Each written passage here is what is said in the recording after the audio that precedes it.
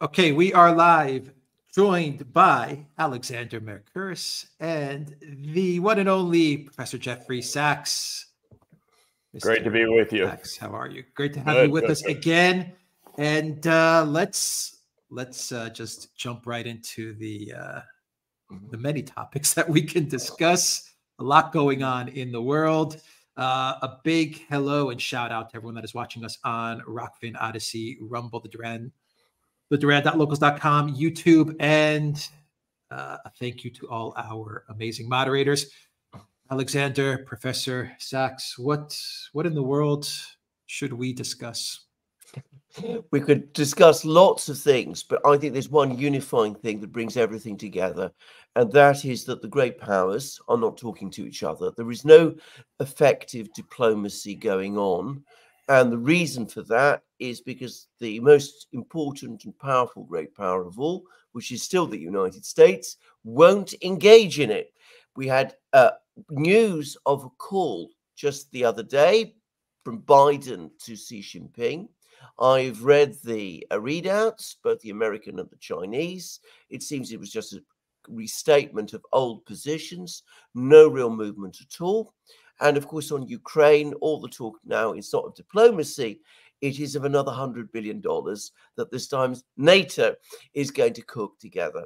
Now, Professor Sachs has done an absolutely brilliant article on the need to rediscover diplomacy, the art of diplomacy at a time when the world situation is becoming more dangerous by the day with wars in the Middle East, wars in um, Europe, in Ukraine, and with the Chinese Xi Jinping going out of his way to use the words red line when talking to Biden about Taiwan. I mean, one got the sense of a rather exasperated Xi Jinping. At least that was my sense from the Chinese readout.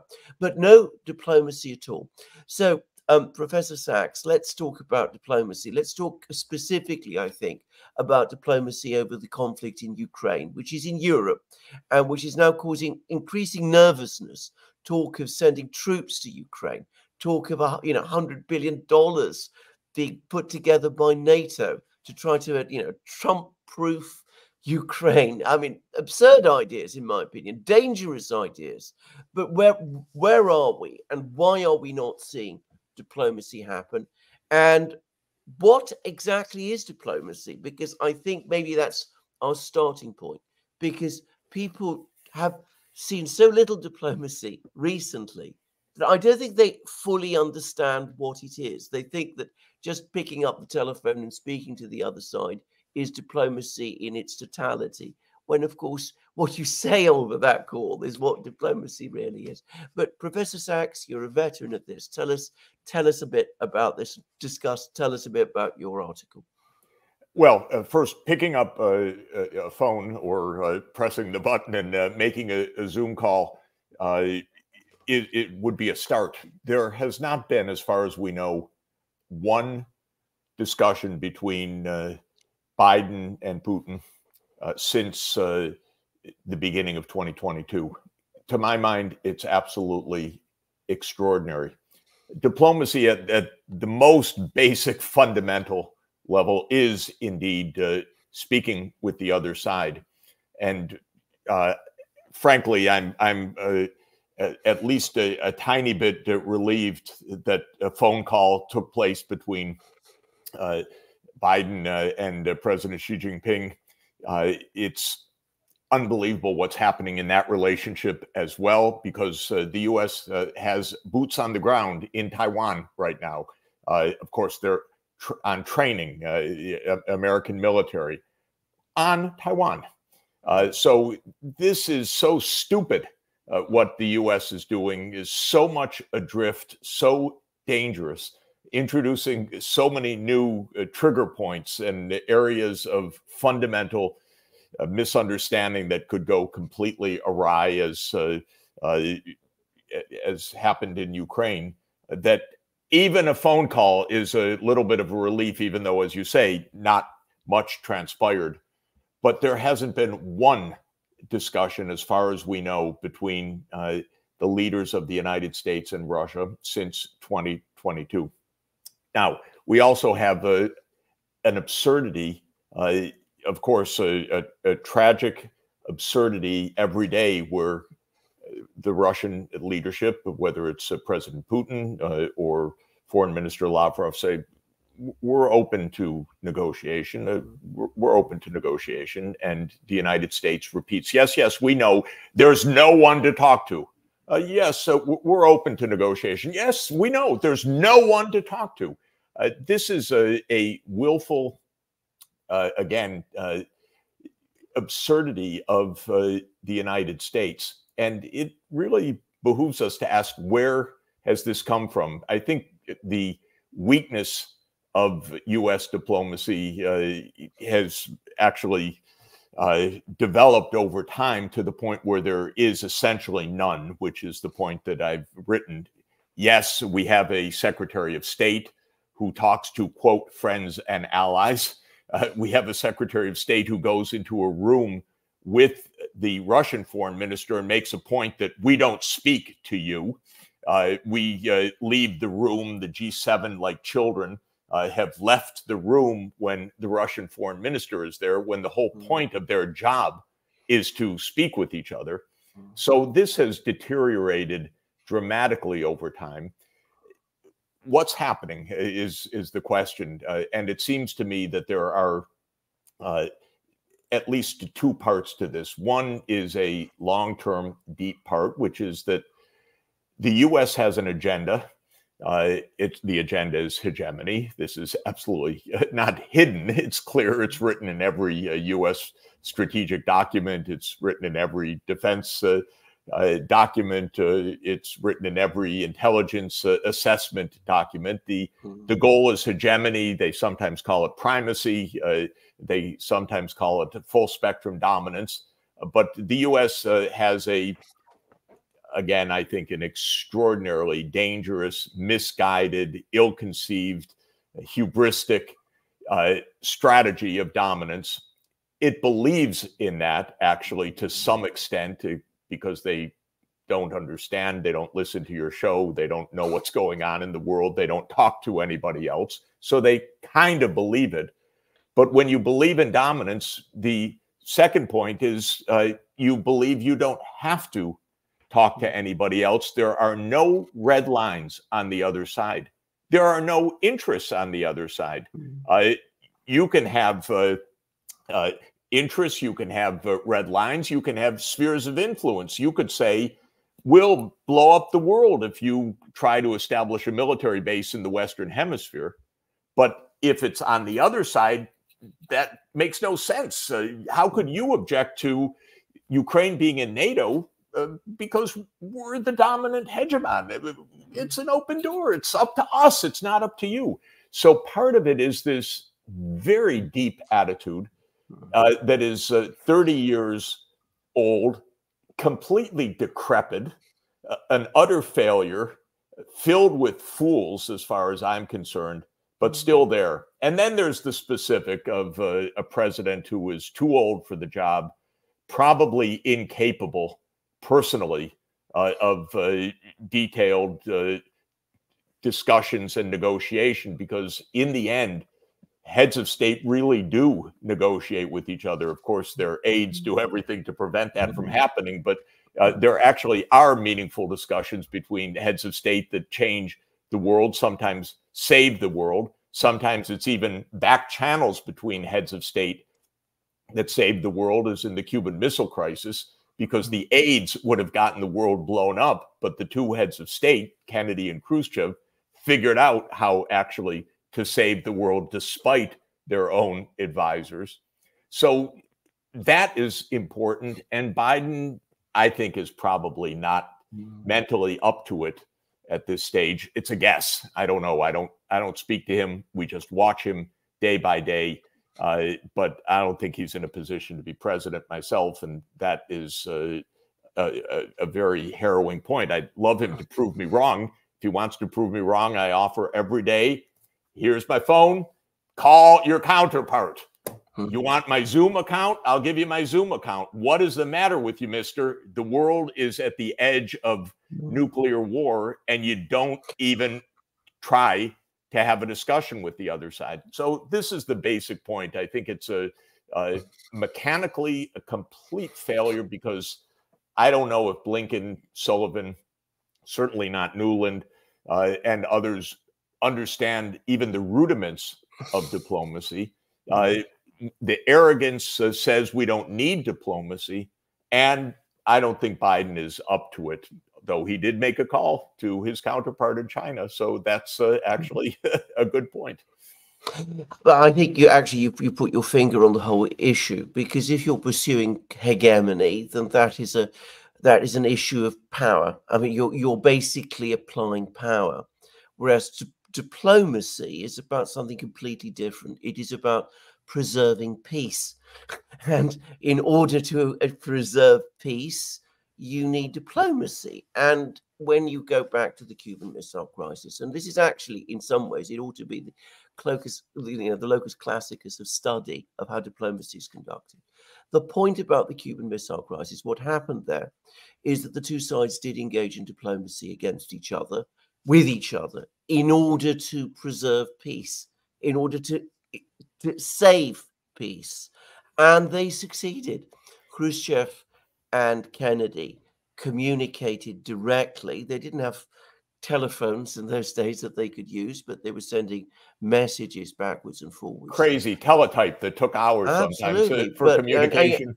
And, and, and, at a time, you know, uh, extreme tension, you know, with warships moving and missiles deployed and all that kind of. They did that. And they were working through the night constantly and of course the president's brother robert kennedy who was a member of his administration was in direct contact with the soviet ambassador dobrynin in moscow oh, sorry in, in washington and they were also um, they were also talking to each other and over the course of those hours an agreement was hammered out and it ha- and it preserved peace it didn't just preserve peace it preserved humanity at least i mean it you know, because yeah, we literally a- were on the brink then.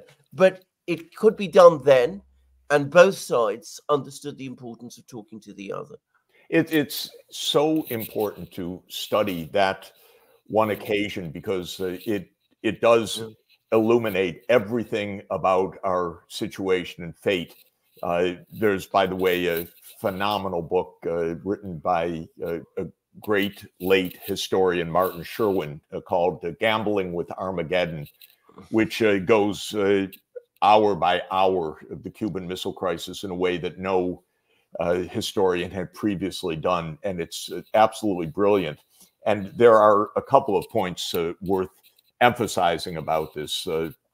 one is that Kennedy and Khrushchev not only communicated to save the world, even from their own advisors at that point, but they had been in a private communication by letter writing, actually, uh, the mm-hmm. old fashioned way, uh, from the time of uh, Kennedy's election in November 1960. They wrote letters back and forth, which have, are compiled and are absolutely fascinating to read, uh, incidentally. For example, uh, when the CIA and Kennedy uh, made the disastrous step of uh, the Bay of Pigs invasion of Cuba in 1960, uh, in the spring of 1960, Khrushchev wrote to Kennedy in one of these uh, back letters uh, Mr. President, piratical elements of your government have committed an international crime invading Cuba and Kennedy wrote back one of the stupidest letters uh, of, of uh, I think, of an American presidency, saying uh, that's not true. This has nothing to do with the United States. Uh, th- these are uh, uh, these are Cubans who are attacking their own country. And Khrushchev wrote back after that a blistering letter saying, "Mr. President, don't ever lie to me like that again." This is your government. You know it. Do not talk to me that way. So they had this very strong give and take uh, for almost two years before the Cuban Missile Crisis. This made a difference. There was a human element. One of the facts that Kennedy arrived at at some moment in in the middle of this intense crisis was my god khrushchev's probably facing the same pressures i'm facing it seems like a basic insight but kennedy at a moment came to understand that the two leaders were imprisoned by their own sides who were rooting for war and that's when he reached out now a second uh, story that's absolutely important about the Cuban Missile Crisis. One of the things that led uh, Khrushchev to realize we have to settle this was uh, Fidel Castro calling Khrushchev or them speaking with each other and Castro urging a nuclear attack on the United States. And this is also telltale. Khrushchev was horrified this is the client state. This is Cuba. This is the Soviet Union protecting Cuba. And he realizes this guy's completely out of control.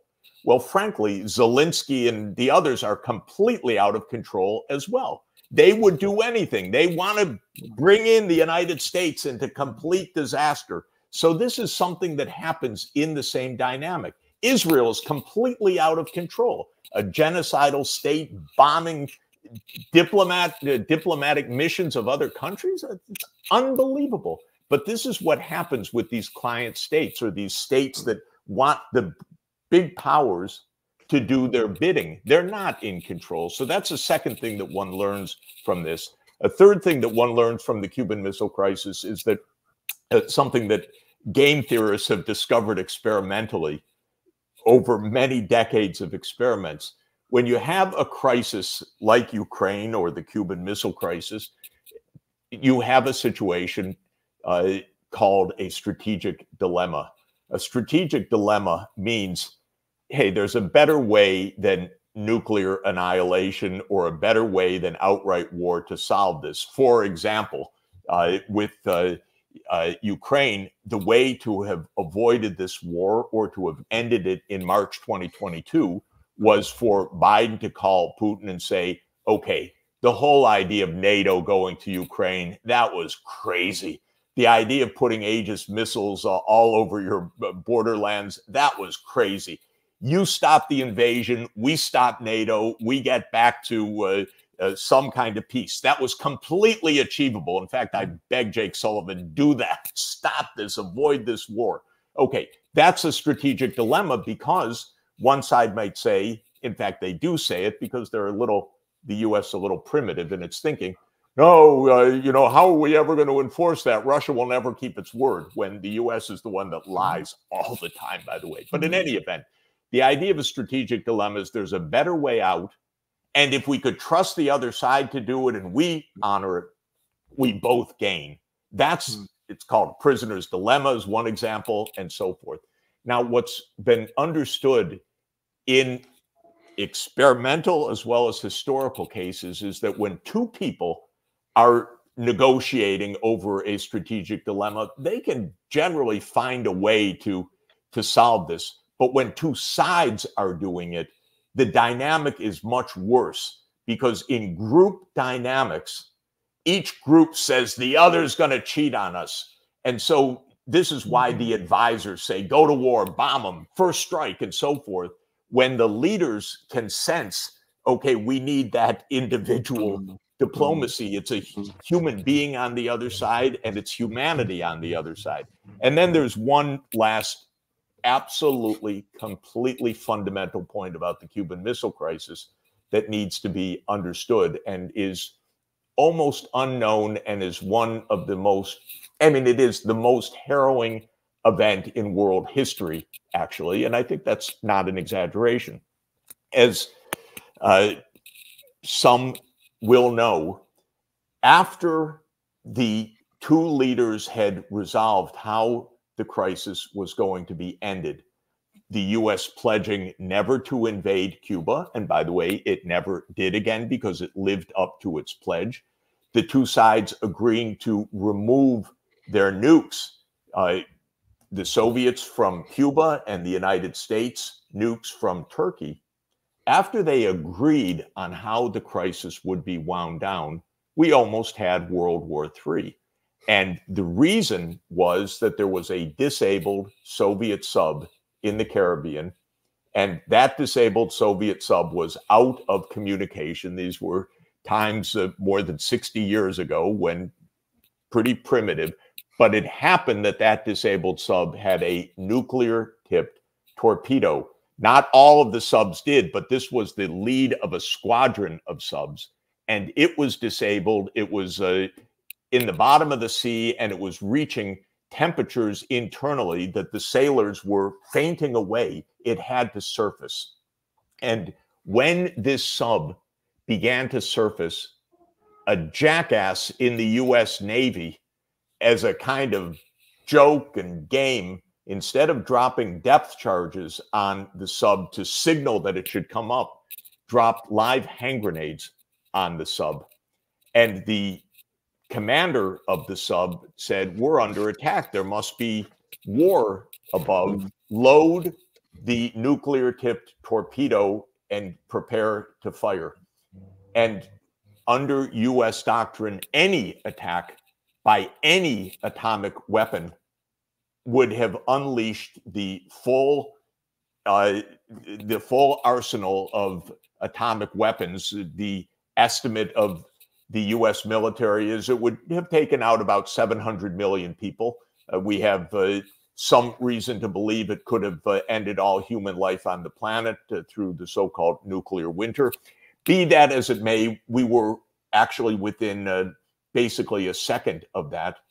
And what happened on the sub was by coincidence, because again, not every sub in the squadron had this, there was a party official who was senior to the skipper and who said, um, "I don't think it's a good idea to to fire." Uh, and uh, at the last moment, countermanded the order. The submarine uh, uh reached the surface, and uh, annihil- nuclear annihilation was avoided. The point is miscalculation. The mm. point is events outside of the control, mm. uh, even of the two leaders. The idea is that these idiots, because I really resent them playing with our lives, these mm. idiots uh, in the Pentagon, in the CIA, in the security services, in the White House, who don't know what they're doing, don't act like grown-ups, bring us to the brink thinking what could possibly go wrong. Mm-hmm. So you talk to the other side. Mm-hmm. And uh, one final point, which uh, maybe is obvious, but mm-hmm. uh, it's it's actually remarkable. In these security dilemmas, uh, which have been studied now since uh, the prisoner's dilemma was uh, proposed as an object of analysis back in 1950 mm-hmm. by the Rand Corporation. so we're 70 uh, plus years into this, experiments have shown that mere talk between the two sides, even if it's not binding, even if it doesn't uh, prevent the cheating, mere talk raises the probability of a cooperative solution dramatically. Mm. And so, this is why, no joke, I've said to the White House, uh, first directly and then uh, on our discussions every day talk to the other side mm. talk just mm-hmm. talk you don't understand you don't know what you're doing you can't figure this out unless you talk to the other side and maybe, maybe uh, sorry for the the uh, soliloquy or the rant but uh, one one more point that needs to be added mm. we have a we have an idea a big lie that adds to the idea of why you don't talk. And it is rolled out on every occasion by these fools. They are fools, by the way. When you know them, it's not to respect them, by the way. They are absolutely without knowledge of what they're doing. And I know them, I know them personally. Occasionally they were my students. Come on, I'm telling them, get on with with with reason what what uh, um, what we have in our daily narrative is you can't talk to the other side. They will cheat you. you know, Neville Chamberlain talked to Hitler. Mm. And that caused World War II. And it's an insanity of misunderstanding everything mm. about that historical event. But it's also the most simplistic misapplication of some garbled, jumbled, foolish account of Neville hmm. Chamberlain's negotiation with Hitler that is then used to say, don't talk to the other side.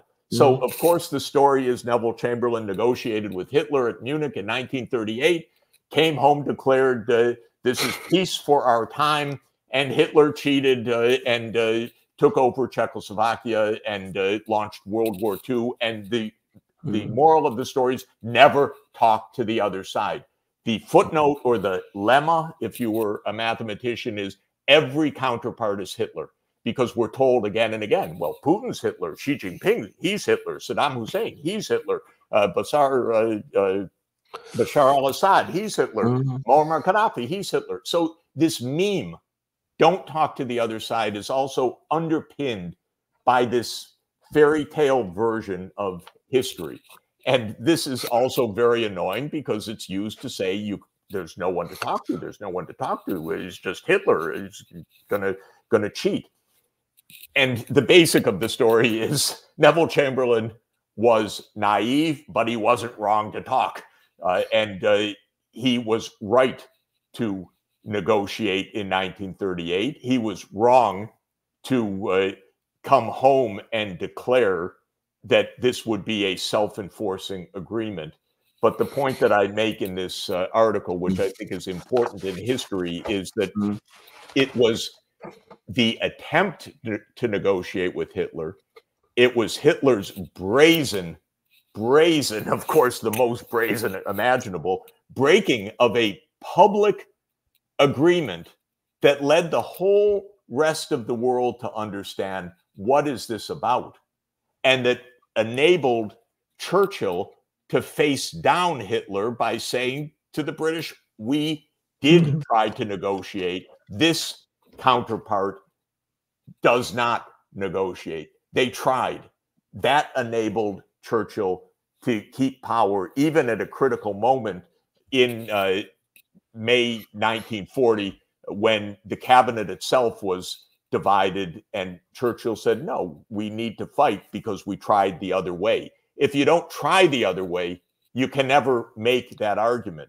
And you can never win the public hmm. opinion either. What we have in the world today, and I promise I'll stop this monologue at this moment. I'm traveling the world, as you know, every week, basically. I'm speaking to world leaders Nobody believes the United States. Hmm. Nobody believes the US is hmm. trying. Nobody believes the hmm. narrative that we give that Putin's a madman, uh, that this is completely uh, irrational, Peter the Great rebuilding of uh, uh of uh, the Russian Empire, uh, that Putin is a Hitler. Nobody believes that around the world. Nobody believes that Israel is trying to make peace by rooting out Hamas everybody knows what's going on. So the US is also in an incredible bubble. Anyway, that's the problem. We have a miserably weak team. We have a miserably weak president who may be not even in capacity to be president, and we're not having diplomacy.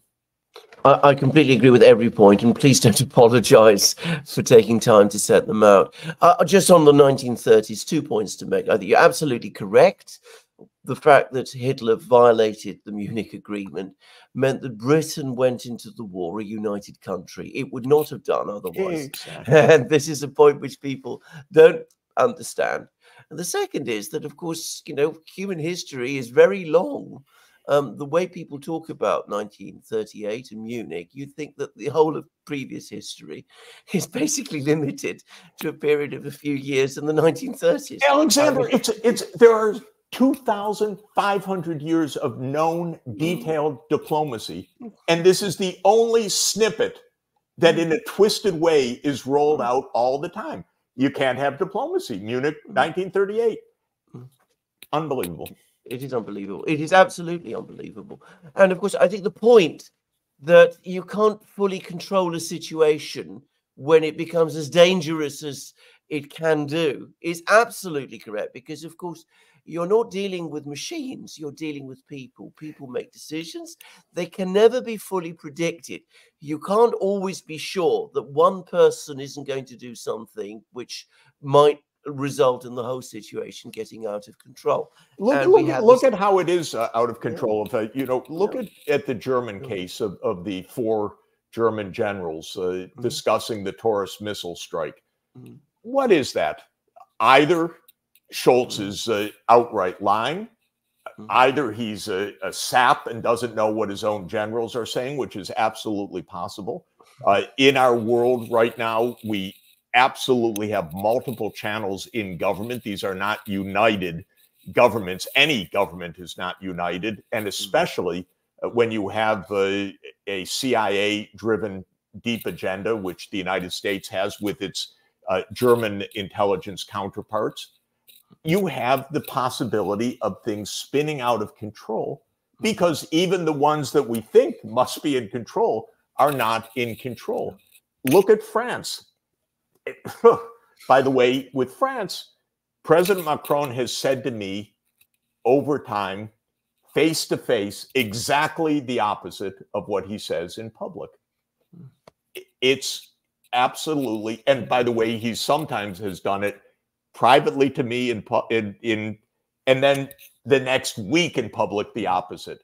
Okay, they lie. This is uh, not exactly a revelation, but the instability of it, the mm-hmm. lying of it, the multiple channels of power within any uh, government, the fact that NATO is this bizarre uh, alliance where uh, you have utter hate speech. Mm-hmm. I mean, hate coming mm-hmm. from uh, much of NATO right now. You have a president of Latvia uh, tweeting uh, Russia delenda est, uh, hmm. Russia mm. must be destroyed, you know, in uh, hmm. Cato the Elder's uh, phrase mm. about Carthage.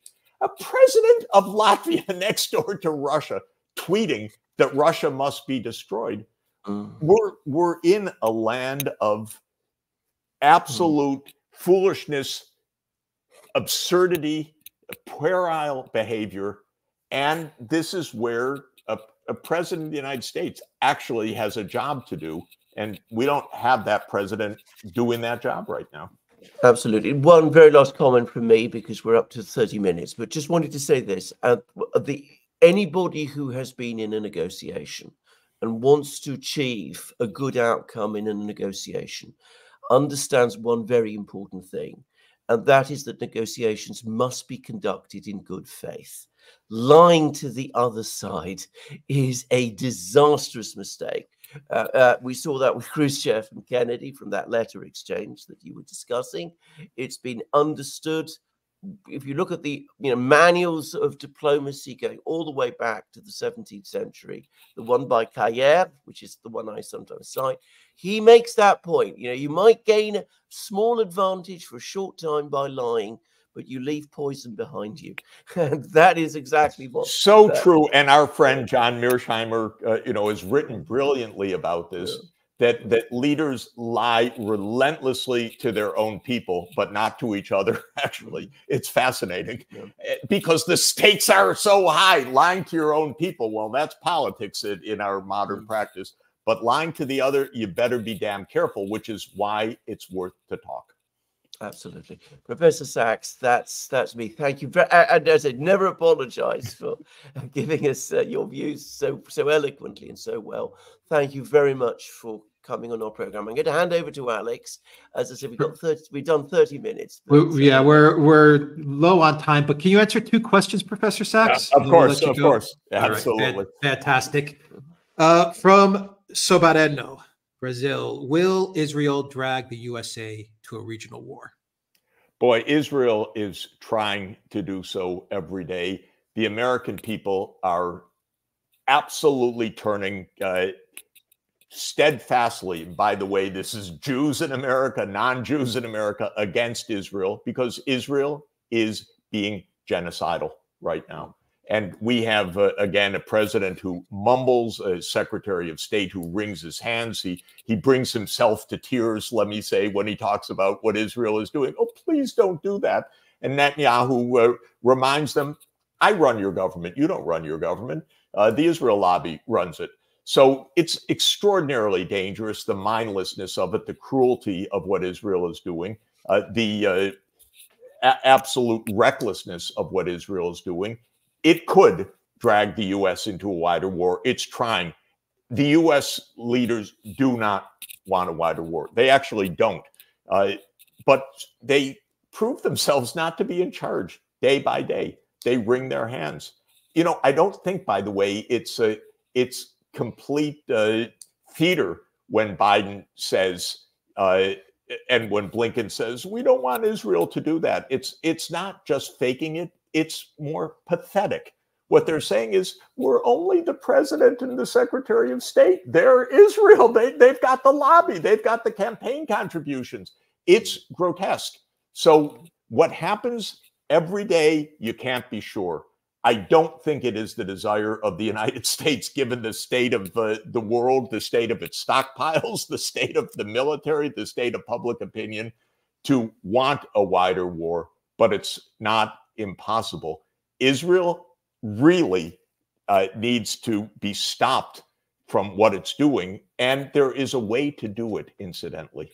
The way to do it is exactly the United States says we're not arming you tomorrow Israel cannot go one day to the next. I mean it. It's yes, of course, it's uh, it's got a little bit of stockpile, but it cannot go one day to the next without the active military support of the United States. The U.S. can stop this at any hour. And again, I'd like to remind them in the White House that's the job of the US president is actually to stop wars. My theory of America as the war machine is always revving.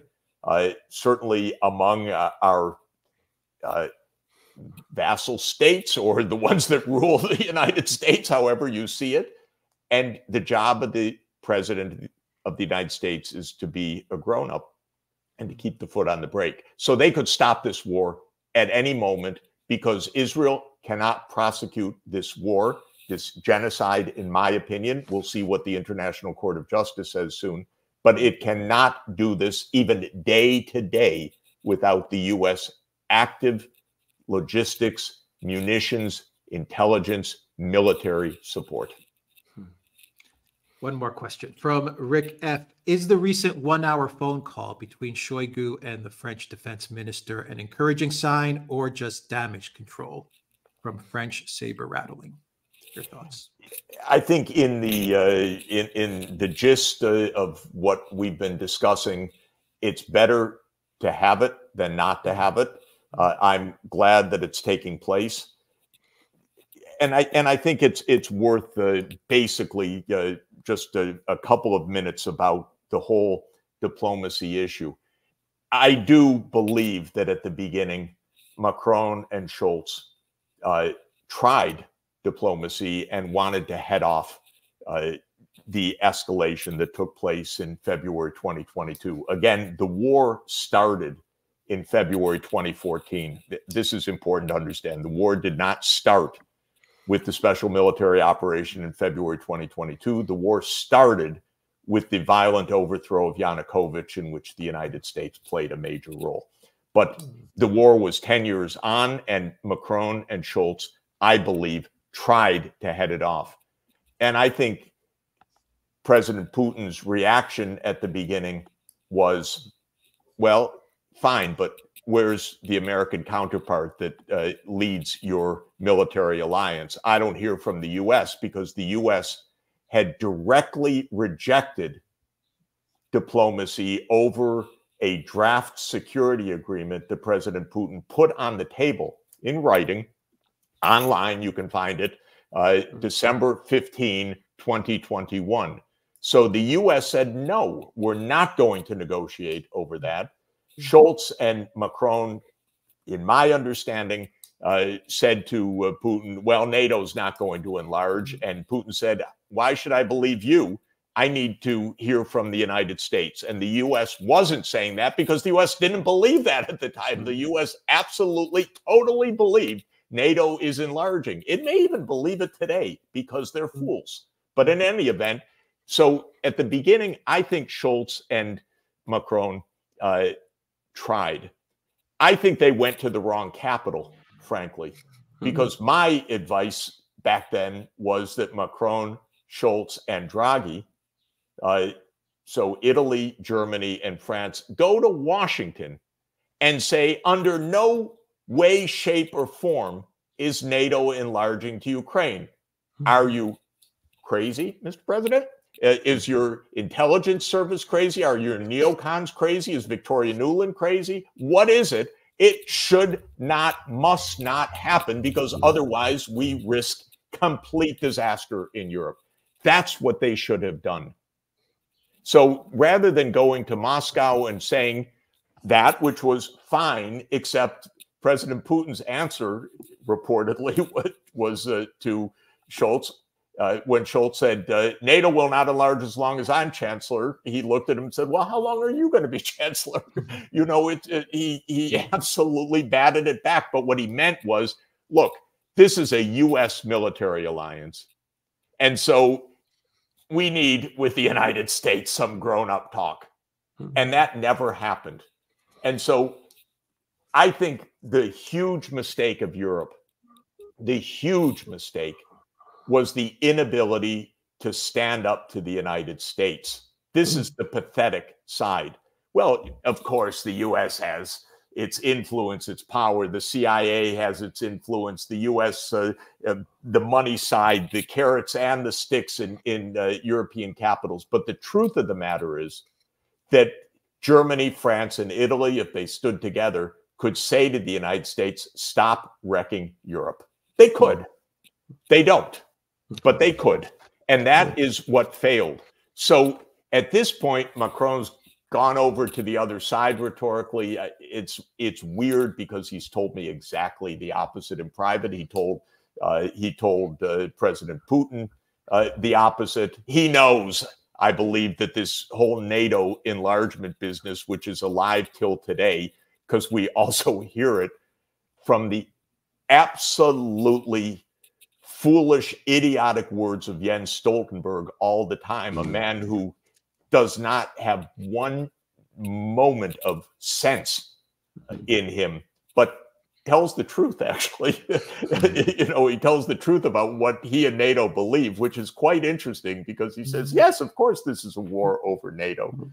But i believe that macron knows all of this but for whatever political reason maybe the european elections uh, maybe his misperceived politics maybe whatever slight he feels. Who knows? Uh, mm-hmm. he he's doing something different right now. But to answer the question, good that there was a, a call because every call at least establishes the possibility of some diplomacy. But the real diplomacy should be Europe extricating itself from the absolute recklessness of 30 years of uh, hegemonic aspirations, unipolarity, and Europe knew all of this. European leaders have told me all of this, how reckless the US is. European leaders opposed the uh, 2008 invitation to Ukraine and to Georgia, for God's sake, uh, that's a North Atlantic country, uh, to join NATO. Uh, and uh, they've known all of this all along, but they don't have the capacity, or they haven't had the capacity, I should mm-hmm. say. Merkel did uh, a bit, a bit, uh, but uh, not Scholz uh, and uh, Macron, Draghi left. Anyway, uh, they did not find the way to say this. Just one, one last piece of this. Der Spiegel ran actually an extremely interesting account of the 2008 NATO mm-hmm. decision to invite Ukraine and Georgia to become members. And it got it right. I, I know a lot of the inside story and it, it got it got it right. It's a very interesting read. Uh, and uh, it's even entitled something like When the War Really Began. uh, because it recognized that it was the invitation to Ukraine and to Georgia to uh, join NATO, or better said, that they would become NATO members, that uh, was the, uh, the, the basis of uh, this war, which now I think everybody uh, except mm-hmm. the, the bubble acknowledges. Mm-hmm. but the article is really weird because it describes how Merkel tried to stop it. it it describes how the French tried to stop it, uh, stop this uh, invitation, and, and in the end, there was this mishmash compromise that yes, uh, Ukraine and Georgia will someday be members, but uh, we won't have a a, a a, plan right now of exactly how to do it. So the worst of all worlds. But then Der Spiegel concludes by saying, "You see, Merkel was engaged in appeasement." Yeah, crazy.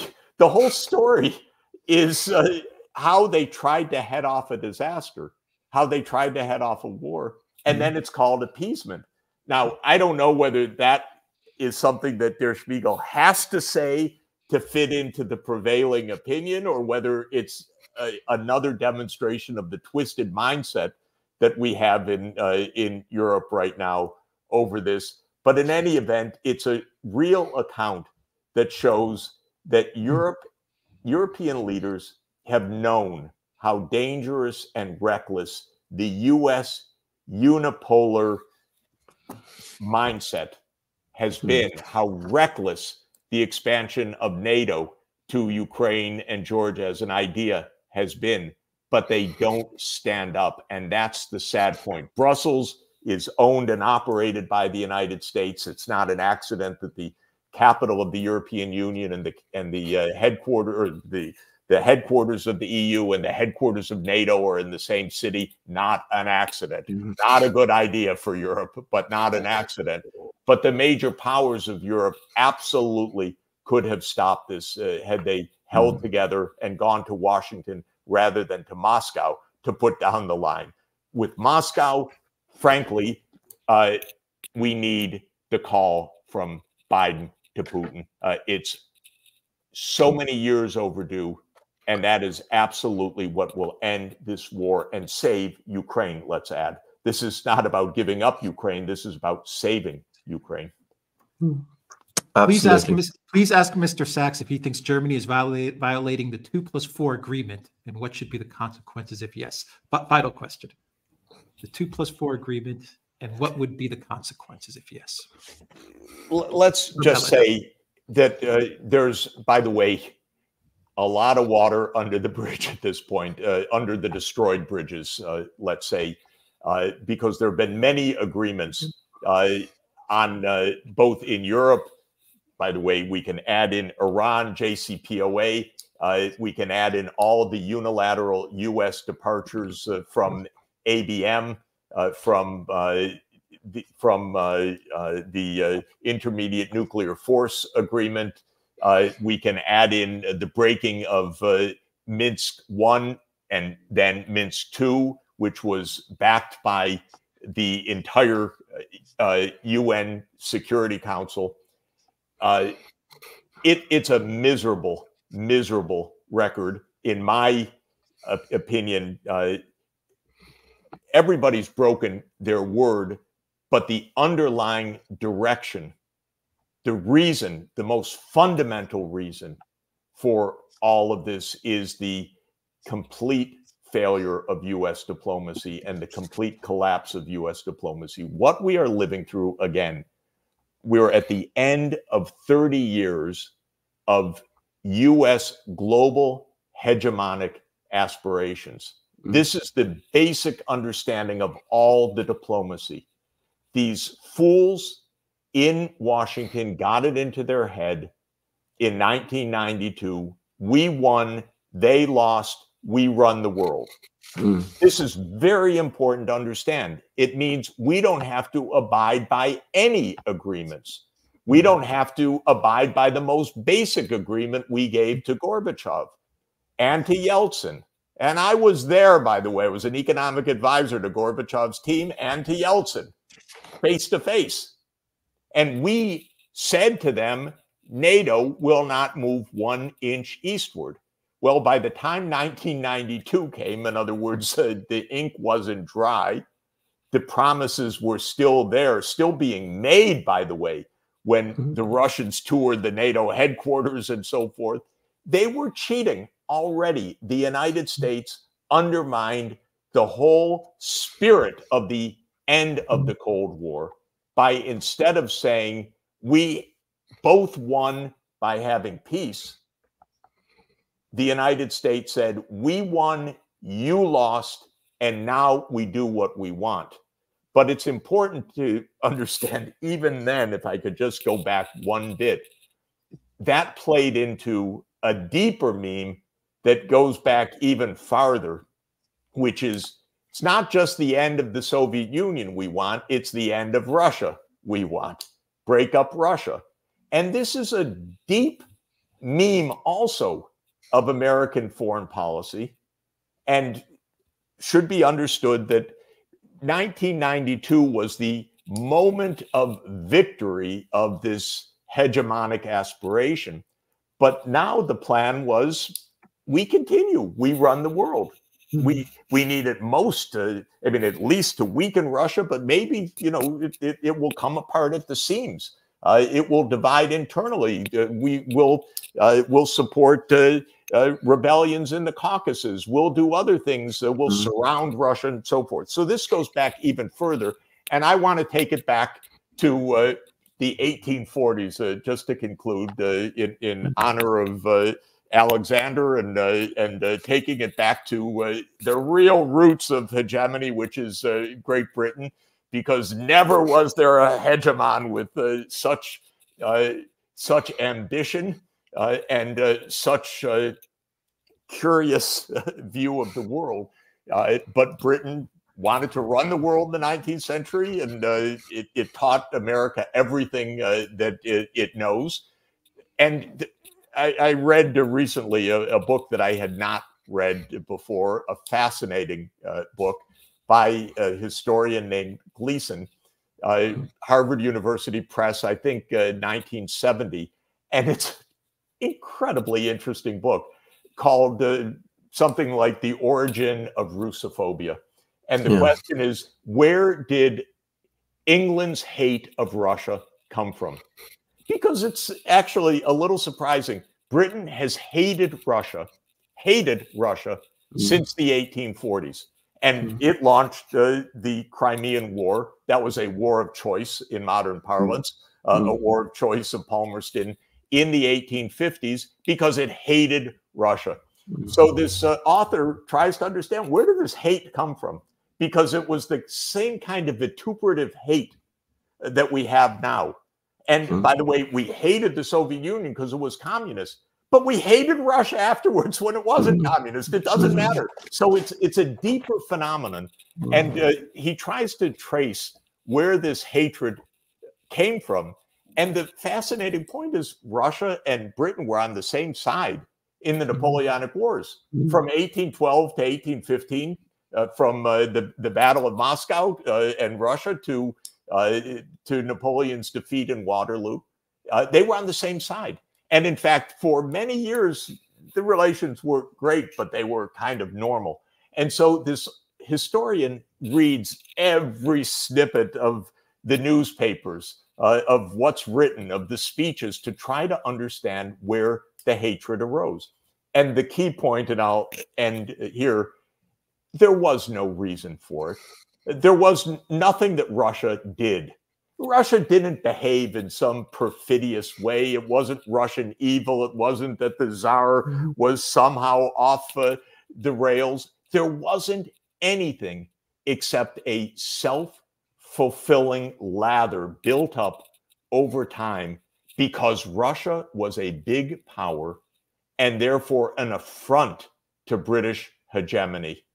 This hmm. is the same reason why the US hates China, not for anything China actually does, but because it's big. It's the same reason until today that the United States and Britain hate Russia because it's big.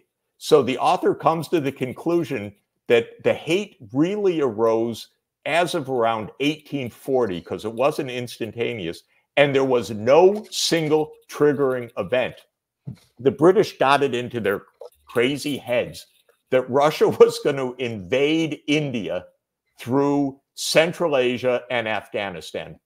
One of the most bizarre, phony, wrong headed ideas imaginable, but they took it quite literally. And they told themselves this we're the imperialist. How dare Russia presume to invade India when it had no intention of doing so? So, my point is it's possible to have hate to the point of war and now to the point of nuclear annihilation for mm-hmm. no fundamental reason. Talk to each other.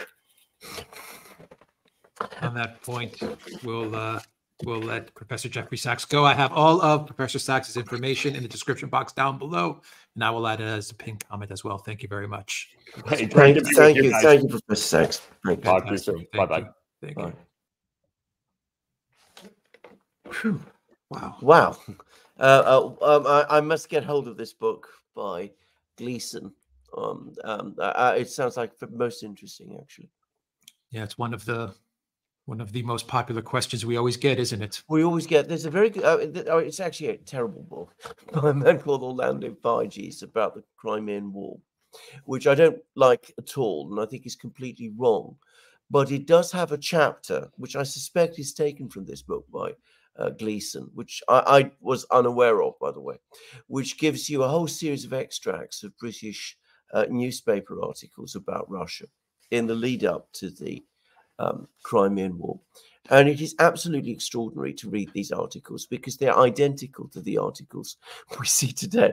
All the same memes, all the same tropes, all the same stereotypes about Russia, they're all there or already in existence back in the 1840s. And uh, one thing that Professor Sachs is absolutely right about is that we've gone now into the archives. It's absolutely clear that the British engineered the Crimean War and that their objective and Lord Palmerston's objective was to break up Russia. In other words, exactly the same thing that we hear and see all about today. Um, and they failed, of course, totally. They got bogged down trying to capture one single Russian city, which was Sevastopol. And it took them two years to do it. And by the time that they did that, their economies were exhausted and everything had gone completely wrong and they had to try to extricate themselves from this war. And they did so by threatening to start a general European war by getting the, the Austrians to issue an ultimatum against the Russians. It's a the Crimean the, the story of the Crimean War, the real story, has not yet been written. And um, it's one of these events which uh, demands proper historical re examination. Still, still being written today. Yeah. yeah. Um, yeah. Okay. Well, let's. uh We have we have a live stream with Garland Nixon in we do we hour. Uh, no, so we, awesome. We so let's answer yes. the the questions yeah. that we have, Alexander, and uh, yeah, and then we'll get on to to the next live stream with, mm. with Garland. Um, mm. Let's see here. It's interesting, Alexander, as I pull up the questions because all the all the all, all, the British people that I know get along really well with with Russians. Like the people Absolutely. get along. Yeah. Where, where, you have the government elite has this this obsession with with with it, breaking apart Russia. It's really it's really bizarre to see, and the same can be said about America. Americans like get along with Russians on oh, a on a people to people level, but it's oh. the governments that are Absolutely. I mean, I saw, I saw one occasion. I mean, uh, um, where there was a a group of Russians, and this is before the conflict in Ukraine got off uh, back in 2022. But there was a group of Russians, you know, sitting in a cafe in uh, Covent Garden in London, and there was a group of young British men nearby, and then they just went over to this table and they said, you know, I just want you know, we just want to tell you that all this you know, vitriol you hear against your country from Britain, um, most British people don't feel it. No, that was, you know, that, that was just a demonstration of that. And, you know, British people are quite shy and diffident talking to strangers. So this group obviously felt, I think they look like students actually. They obviously felt strongly enough about it that they went and did it. All right. Uh, so Bareno Brazil says they will manipulate Europe to pay for the war against Russia for years now. Trump proof or accountability proof? Hmm. So, uh, J- Jungle Jin says, has the promotion of the Ugandan judge, Julia Sebutinde, to vice president of the ICJ compromised the court? Was this promotion a reward for dissenting? We will have to wait and see. I mean, I, am pretty sure that the powers that be in Europe and the West were not happy with the last ICJ decision. So, um, all kinds of things probably have been going on. But of course, overall, there's still, a, I think, a majority on the ICJ. And courts don't like, once they've made a decision, to sort of reverse themselves. So, we'll just have to wait and see how that works out. All right. Oracle says, love Jeffrey Sachs. Thank you for that. Mm-hmm. Oracle Fractured says, I'll need sleep for work by the time this starts. Enjoy yourselves. Thank you for that. Uh, Spyron says, cheers. Cheers mm-hmm. to you, Spyron, as well. And from uh, Soberano, Brazil, until USA elections, we will see the war going on. And if Trump gets elected, elected, will he be able to make the war stop? Or there will be mechanisms not to allow him doing it. Well, Stoltenberg is trying to create one now. He's trying to get a fund together from NATO, $100 billion, which is nowhere near enough, by the way, for what he's to, uh, to, to, continue this war. $20 billion um, a year, $100 billion over five years to try to keep, keep the war going, uh, well, presumably for five years. Um, but um, my own view is that the power of the United States, exactly as Professor Sachs was saying, is strong enough that if we got into this kind of situation where Donald Trump really wanted to end the war, um, and he had the support of the whole of the US government behind him, he could do it. The great question is what happens in Washington? And um, there are there is a lot of rumor now that the next Trump administration is going to be a lot more joined up than the first. So let's wait and see. Yeah. Valias, thank you for that. Super sticker. Elza says Stoltenberg, if we can convince Moscow it cannot win on the battlefield, is Jens mentally up to it? Blinken is also talking about Russian defeats. Well, I think what Stoltenberg needs to do is to read the one of the late the latest article in Politico, where there are all these Ukrainian military officers who are coming along and saying quite straightforwardly, the war is lost. We can't defeat the Russians. There are too many of them. They've, they've got they're too well armed. They're too well equipped. They're too well organized. And if the $61 billion package passes, it's not going to make any difference. And if the F 16s arrive, it's not going to make any difference. And the West doesn't have the weapons and the technology to change things the outcome of the war. So, Ukrainian military officers, these are actual Ukrainian military officers, are taking, telling Politico that what um, um, Stoltenberg is talking about is absolute nonsense. I think you should speak to these people. Yeah. Stoltenberg could have watched the Duran over the past couple of years as well. so Barano Brazil says, Do you believe Israel is putting itself in a dangerous corner? They say they will attack Lebanon anyway. Will the chances of USA be drawn even more to the conflict increase? Troops on the ground. They're becoming more reckless and more desperate and more dangerous all the time. And, you know, I say that with uh, very carefully because well, I think this is absolutely the case. I mean, we've had this utterly uh, in, irresponsible attack on a consulate in Damascus. And, you know, irresponsible is the mildest possible word you could use to describe it. It's clearly, in my opinion, intended to create a crisis with Iran hoping to get uh, the United States involved in that crisis. They've also um, there's also been this attack on this. I think it's a bakery, whatever it was, the thing that the WCK, yeah, WCK thing um, in Gaza, which um, whatever the exact facts, I mean, it, it suggests either immense care, negligence to the point of indifference about what they attack or, or well, I mean, there's now suggestions that it was an intentional attack, which, if true, is just shocking. There's talk always about wars against Lebanon, against all, sorts of people. So, I mean, they are getting very reckless and they're getting very dangerous. And I think the reason for that, uh, there, there are multiple ones. Firstly, the economy in Israel is contracting. Secondly, the war in Gaza has gone on much longer, I think, than anybody anticipated and is far from one. Um, and thirdly, they're sensing their international isolation.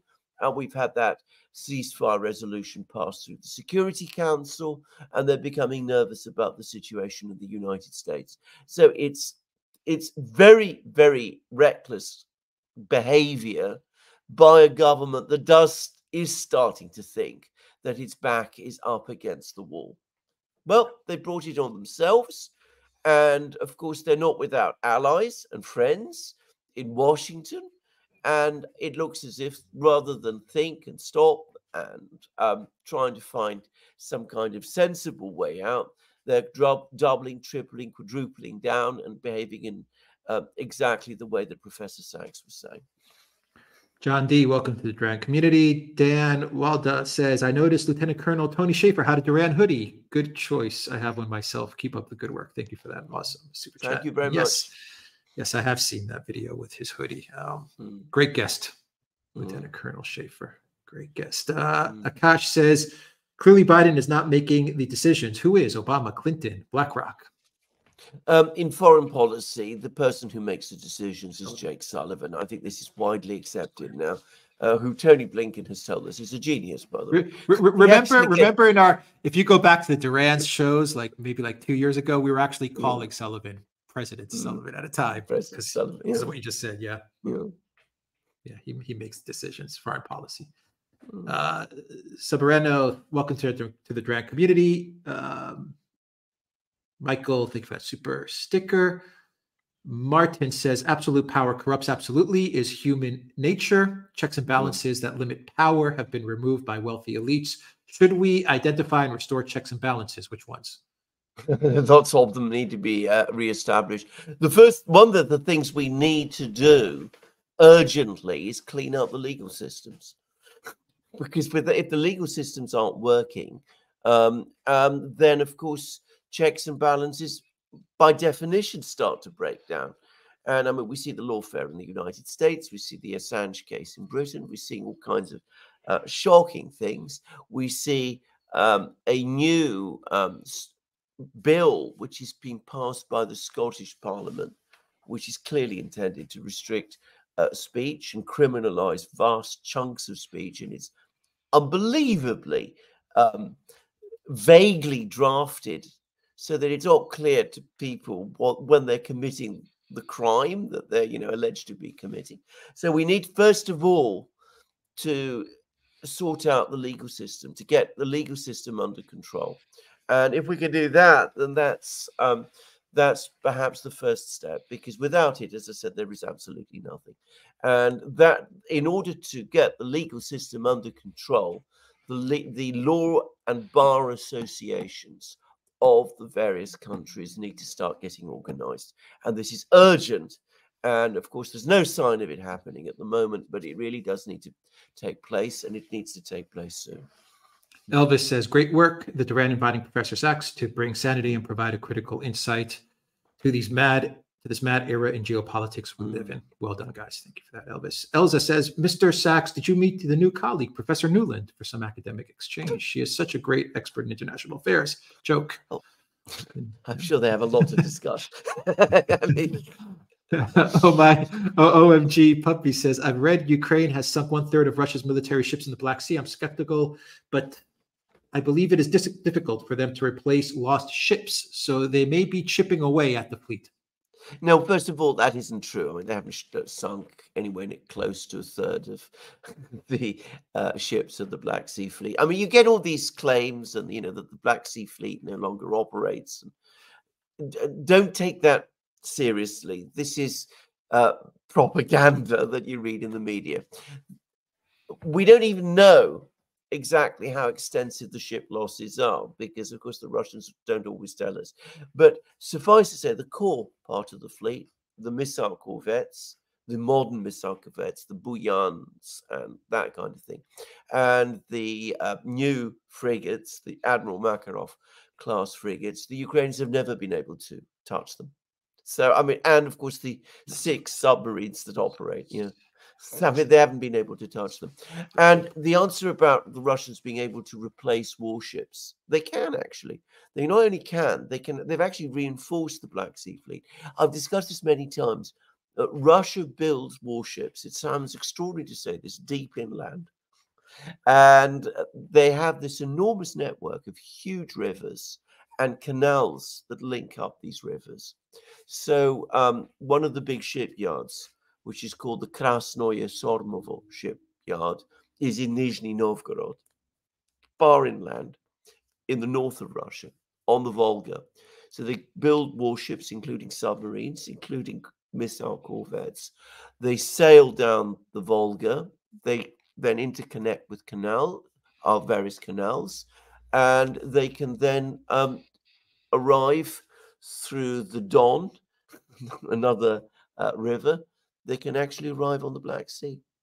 Sounds astonishing to say this, but it, it, it's it's been done many times actually. Robin R says, Bonjour, Monsieur. Hi, Valies. Good to see you again. Hmm. Danielle, thank you for that super sticker. Jungle Jim says, eminent jurist Geoffrey Robertson was convinced Putin should be tried for war crimes even before the ICC's ruling was handed down. How can such a knowledgeable person of his repute be so effing dumb? Well, I, am going to say this. I mean, I, I don't want to say too much about Geoffrey Robertson because, um, uh, with though we've never met, um, I don't share the view that he is eminent. I mean, he is um, eminent in the sense that he gets, uh, you know, he's very highly positioned in the legal system. But I, I'm very, I'm not a fan of his. Let me let me say that straightforwardly, or of he, or of the chambers uh, uh, where he operates from, or of his general ideas about um, war crimes law and all kinds of things of that kind. I mean, I think it was an absolutely. I, I read the article; it was in the Daily Telegraph.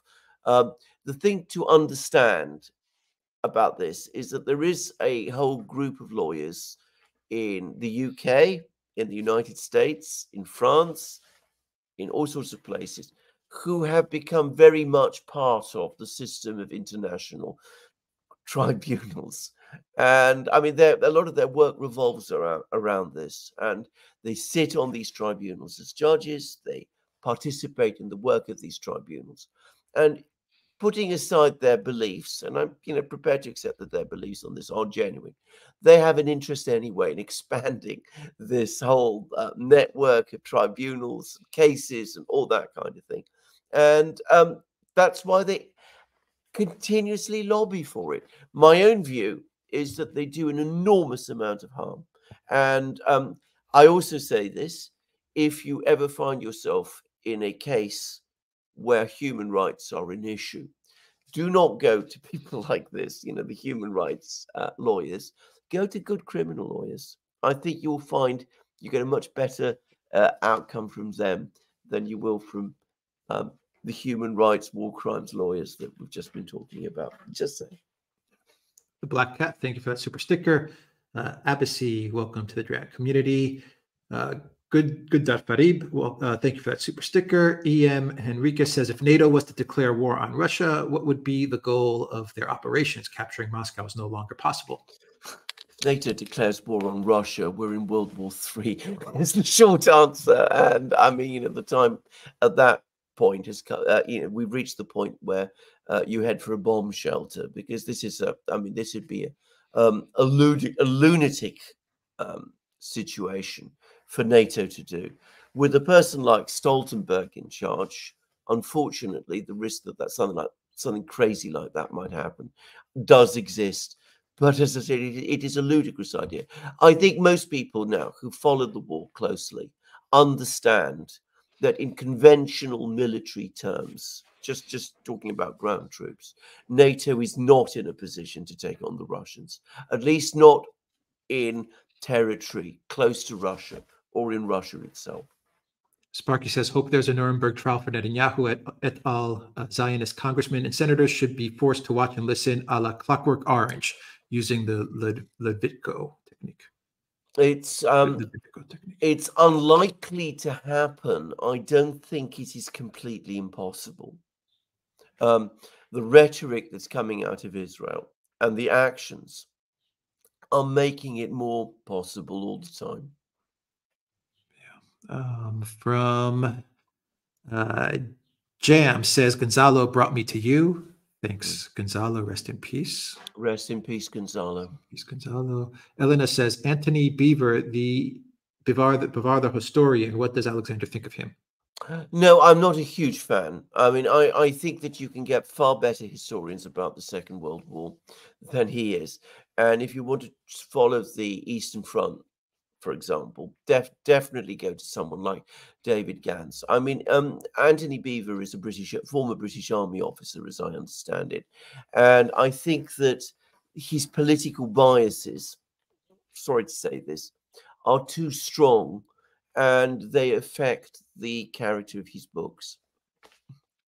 Uh, GGI 1416 says, What part of the war do you think can be blamed on Russia, considering all the mistakes the West made? What could Putin have done differently? Well, I think what the Russians could have done differently well before the crisis, the 2003 Orange Revolution crisis, and even before that, is they could have taken Ukraine a lot more seriously. Um, I mean, for example, um, when um, before the situation in Ukraine began to get out of control, the Russians had a practice of parking in Kiev political figures who had lost out in power struggles in Moscow. So, for a time, the former Prime Minister Viktor Chernomyrdin, Yeltsin's Prime Minister, was uh, Russia's ambassador to Ukraine. I mean, he was, you know, uninterested in the job. Then there was another person who I can forget his name now, who was completely incompetent and essentially sided with the Ukrainian government against his own because he was a liberal politician who'd also lost out in a power struggle in Moscow. Whereas what Moscow had needed, what Russia had needed throughout the 90s and the 2000s was a strong embassy, strongly led by a competent and able diplomat and somebody who would be able to reach out to the Ukrainian political uh, establishment and build bridges with them and work with them and keep Moscow properly informed about what was going on. So I think this is this was a major mistake, and I think it's one that the Russians now repent uh, uh, deeply. Anan Colorisian, thank you for that super sticker. Sparky says Brzezinski had such a hatred of Russia that he provoked the invasion of Afghanistan, then had the, the gall to boycott the 1980 Moscow Olympics. Had two teammates who missed those Olympics. Yeah, no, absolutely. Uh, um, I remember it well. I mean, he, uh, he did have a he did have a complex about Russia. At the very end of his life, he was beginning to rethink it. By the way, but by then, of course, it was too late. Uh, Nick, thank you for that super sticker. Anna, thank you for that super sticker. Uh, Elza says, "Imagine the better world if Western leaders will listen to the Duran." Thank you, gentlemen. you are the best. 100% confirmed. Thank you, Elza, thank for you. that. Uh, Sparky says, when I was in the U.S. Army in the 1980s, we didn't hate Russia, at least us enlisted men. We wanted to rescue them from communism. Absolutely. And I thought I, at the time I was naive enough during the Cold War to believe it was all about communism. I mean, that, that was what I thought it was all about.